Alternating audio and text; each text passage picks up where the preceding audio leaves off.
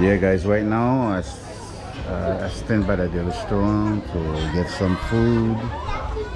There's uh, some few people in the restaurant eating. I don't want to say few. There's a lot of people here that you could see. All the one behind me. All the one me. Okay. And uh, I'm having a good time. I'm, I'm drinking beer.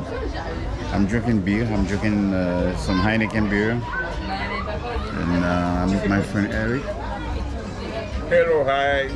And then when we're done, we're gonna go somewhere else and uh, visit some friends. And I heard that there is a band called Tabou Combo will be here next week. So I look forward to see them because it's been a long time since we don't talk to each other. And I also have one of my best friends, he's the conga player from this band. So we're gonna have a good time. Alright guys, I'm gonna do the editing later on. Subscribe and share. Subscribe and share on Facebook, YouTube.